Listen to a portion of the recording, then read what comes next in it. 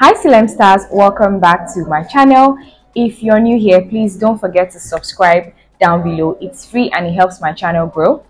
In today's video guys, we're going to be making this two-in-one um, bubu kimono dress so it can be worn as a kimono and it can also be worn as a bubu dress it also has a snatched waistline and it has a cowl shoulder or cowl sleeves okay so i'm going to show you guys how to make this from start to finish so without further ado let's get right into the drafting cutting and sewing of this lovely bubu dress. Oh hey i didn't see you there. So I've already gone ahead now to fold my fabric twice okay? So I folded it and then folded it yet again. So where I have the double folds is going to be my center front okay? From the top of the fabric I'm going to mark the bust point measurement which is 10 inches. I'm also going to go ahead and mark the waistline which is 16 inches okay? And then finally I'm going to mark the hip line which is 24 inches. Now the length of this piece is already 58 inches. What i'm going to do now is i'm going to extend all those lines i've marked. Now i'm going to divide the bust circumference by 4 place that on the bust point line and then i'm going to mark that point i'm also going to add 4 inches allowance extra okay? For ease since this is a bubu dress you don't want it to be too tight. You want it to be very free. Also on the waistline i'm going to divide the waist circumference by 4 i'm going to place it on the waistline and mark that point. And then i'm also going to add 4 inches allowance for ease as well. I'm also going to do the same thing on the hip line. I'll divide the hip circumference by 4 mark that on the hip line and add 4 inches allowance to that. Now in order to get the width for the hemline i'm just going to mark what i have on my hip line including the allowance and i'm going to mark that same measurement all the way down to the hemline okay? So just measure what you have at the hip line including the allowance and mark that same measurement all the way down to the hip line so that from the hip all the way down to the hem you have a straight line now i'm going to use my ruler to connect those points okay so I'm going to connect the points from the hip all the way to the hemline. Now since my front and back pieces are together, I'm going to be marking the back neckline which is 3 inches for the width and 1 inch for the depth and I'm going to draw a curve to connect those points. Later on I'm going to separate the pieces and then cut my neckline separately. Now from the neckline I'm going to mark 17 inches okay so that's going to be my sleeve length. Now at the waistline i'm going to going to go ahead and extend that waistline further okay? And now from the baseline there that you see here i'm just going to connect that um sleeve length point all the way to the waistline okay? So just draw a, a line connecting the sleeve length point to the waistline. And then from that waistline i'm going to draw a curve to connect that to the hip i'm using my um, pattern master you can use your French curve. Any curved ruler you have is fine. So, so, so you just create a very nice curve from the waistline all the way to the hip. Now I'm going to go ahead and cut the neckline of the boo as well as the outline of, you know, the outline of the dress that I drafted, okay?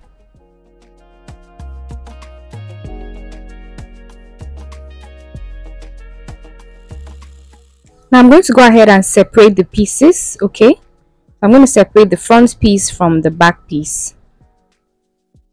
Now both of the pieces are exactly the same so you can use any of the pieces for your front. Just choose any of them. So i've gone ahead now to fold my piece making sure that i'm facing the wrong side. Now since this is a kimono we're going to have to cut open the front. Now to do this we're going to measure one and a half inches from the neck all the way to the hem so just mark 1.5 inches all the way and then use your ruler to connect all those points from the neck all the way to the hem.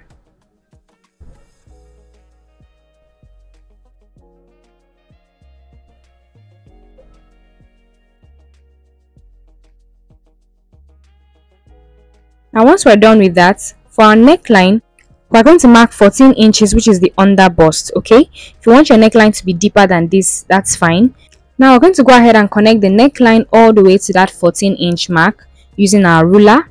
So just connect the neckline to that 14 inch mark and then go ahead and cut along that new neckline and also along that 1.5 inch inches um, um, marking that you made earlier.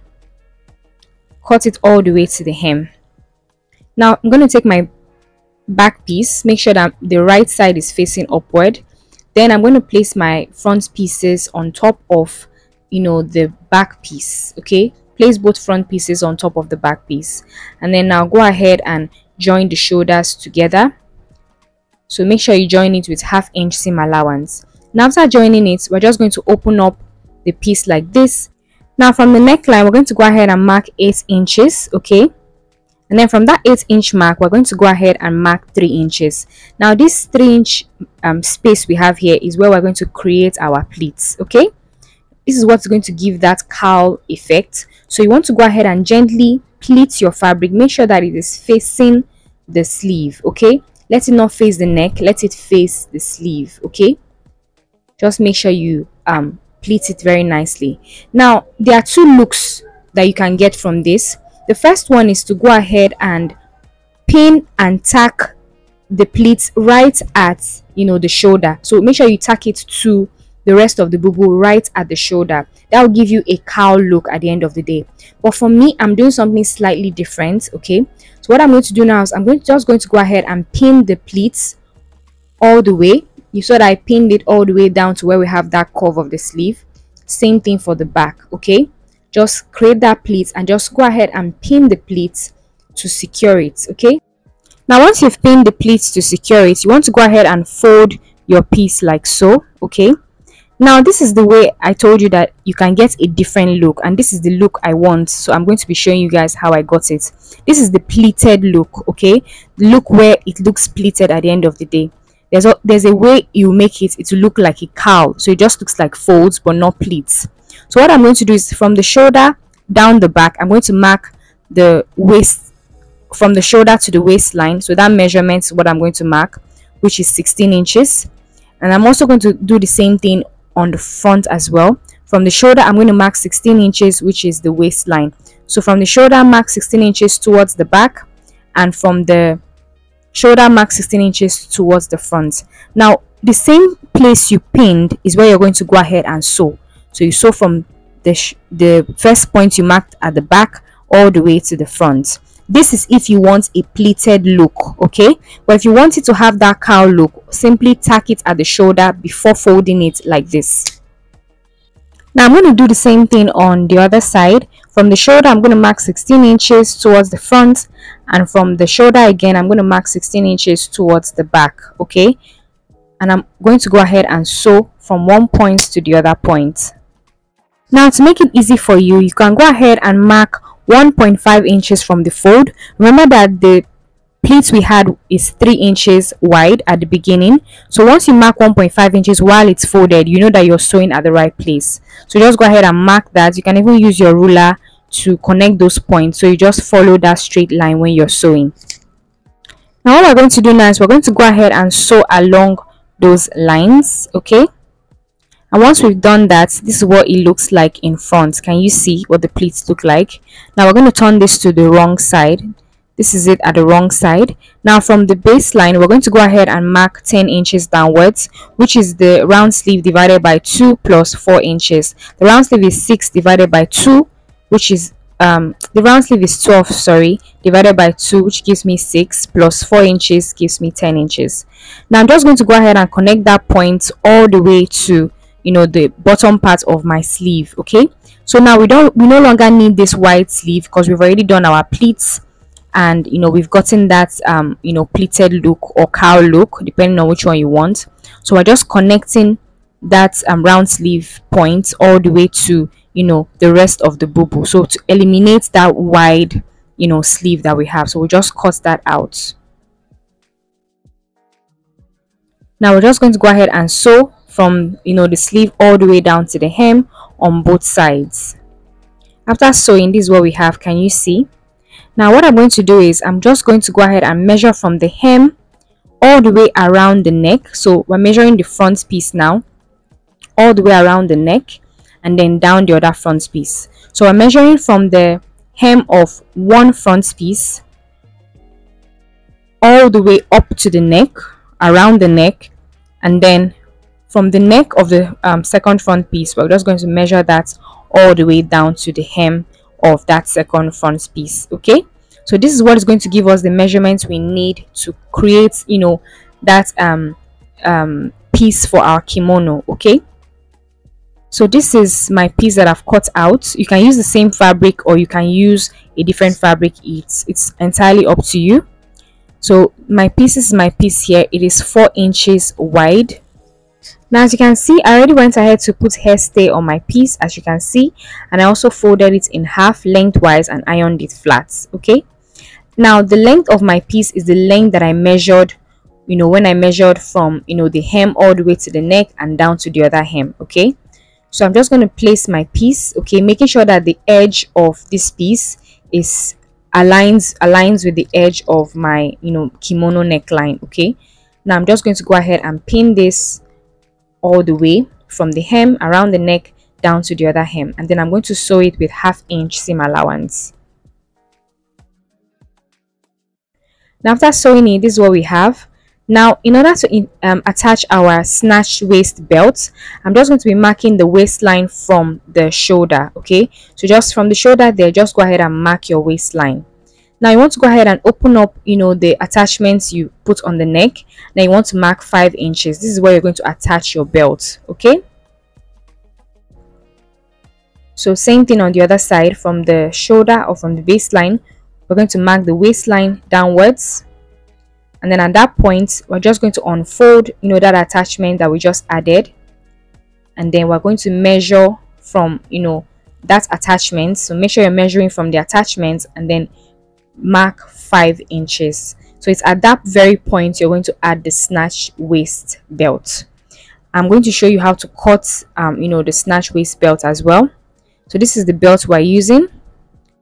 Now the length of your belt is simply your waist circumference divided by 2 plus 9 inches okay? So the waist circumference of my client is 30 inches divided by 2 is 15 inches plus 9 inches that gives us 24 inches okay? Now it doesn't have to be as long as this. You can also do your waist circumference divided by 2 plus 5 inches. Now what we're going to do is we're going to fold this piece lengthwise like this.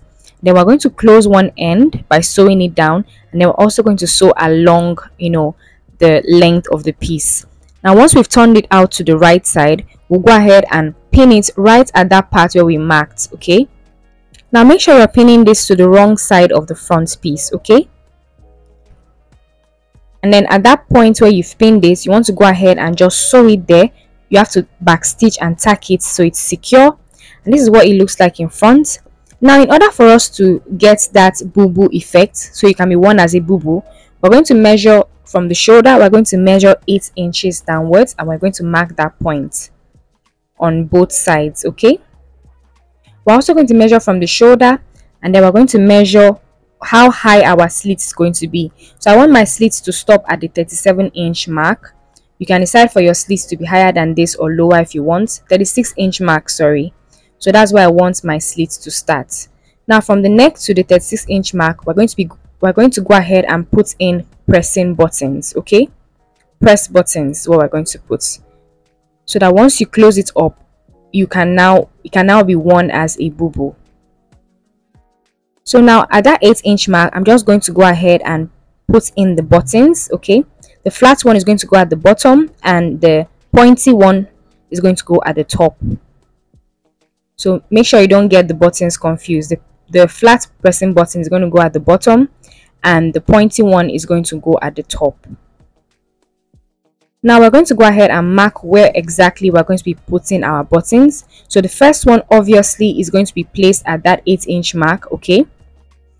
Now i'm going to go ahead and mark that point on both the piece at the bottom and the piece at the top. Make sure that when you close it okay they align because that is exactly how your buttons are going to align when you close them. So be sure that when you close it they actually align now from the first um, point you want to go ahead and mark three inches to the next point. So each of your pressing buttons or press buttons are going to be three inches apart from each other. So just keep marking three inches from that neckline all the way till you get to where you marked for your slits to um, you know start from. So just keep marking three inches all the way till you get to the end. Now once you're done marking it for the piece at the bottom you want to go ahead and just try to close the piece and then mark the exact point where it touches the piece at the top. So that's how you're going to know how it's going to sit when you put in the press buttons okay? So you want to mark the same points at the top. So just do that all the way for all the points that you've marked now the final thing we're going to do is go ahead and put in our pressing buttons using our needle and thread. And then for the sleeve you can either use a facing to turn it in but I actually turn mine in with a bias tape okay? So just make sure that it's nice and neat once you do it. To also hem the bottom part of the dress as well. And that's basically it guys. So easy to do. And that's about it. This is the finished look guys. I really love how this turned out. Please don't forget to subscribe down below thanks for watching. Bye